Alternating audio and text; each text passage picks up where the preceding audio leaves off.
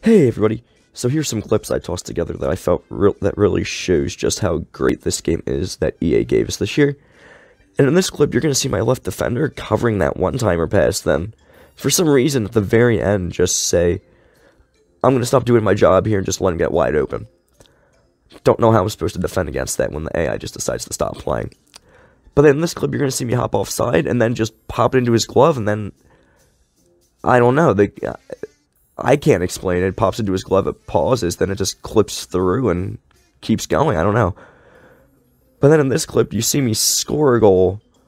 Get it gets called off for a kicking motion that, you know, I I don't I don't see it. Goalie passes it right into my skates. I don't know how I'm supposed to avoid that one. But also thanks EA on this last camera angle here, where you can clearly see uh, the play unfold. Thank you. Then here we go. We got this next clip here. You're going to see me turn it over there. Great pass by me. But then this is going to happen here. I get called for a penalty. Get called for a trip, apparently. I don't know where it's at, though, because the no player ever tripped. No tripping animation, no nothing. Replayed here, he just skates. Skates perfectly fine. The leg kick that he does is for the shot he's taking. So I don't I don't know. My mind is boggled. But here we go. We got a nice clip right here, too. Kaboom! Lay out the beautiful hit, but you got called for the charge, too. You got to watch out for those. But we're not focused about that penalty. We're focused, actually, on my guy that, yeah, skating back to the box there. Just go and zoom, zoom back over there. Don't know how that's possible. We're going to replay it here for you. Been in the game for years, since 14, I, I believe. Even before that, yet it's still in the game. Thanks, EA. But then here we're going to see a change that, that they actually did make to the game, adding in the uh, play of the period. Like that a lot, actually. It's pretty cool. But what's not cool is the play that they picked for it. They picked this great save here. Don't really know what he did to make it so great. It was a pretty bad shot. But then you see them score a goal right after it. They scored a goal. Yeah, that wasn't the play of the period. It was that save that happened right before the goal.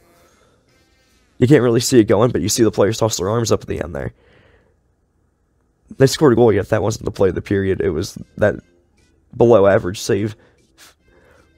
But now from the stadium to the pond, you're going to see me in goal here, kind of killing it for a second here. What kept that in the video just kind of flex that for a sec.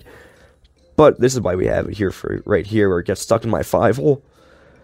I don't know if it's because I'm a bad goalie, but like every time I've tried playing goalie since like 10, NHL 10, I, that's always happened to me. Don't know why it's still in the game. But here you see me hop offside. Great play by me. But then you see me do that slap shot. I don't even know the physics on that. I, I, I can't explain. I do like a backhand slap shot, but going with my like, forward slap shot. That doesn't make any sense. Then right here you see me lay out a clean hit, but apparently it wasn't so clean. As it landed me a penalty, don't don't really know even now how I got it. But you see me get called for interference. But I don't even know because watch this play. It's on the follow through for the hit. Like, is that interference? Technically, maybe. I don't know, but not to me. Not to me. But yeah, those are some clips that I felt that showed just how great this game is. Hopefully, in NHL 2021, they can uh, fix even less issues in this game and give us an even better product.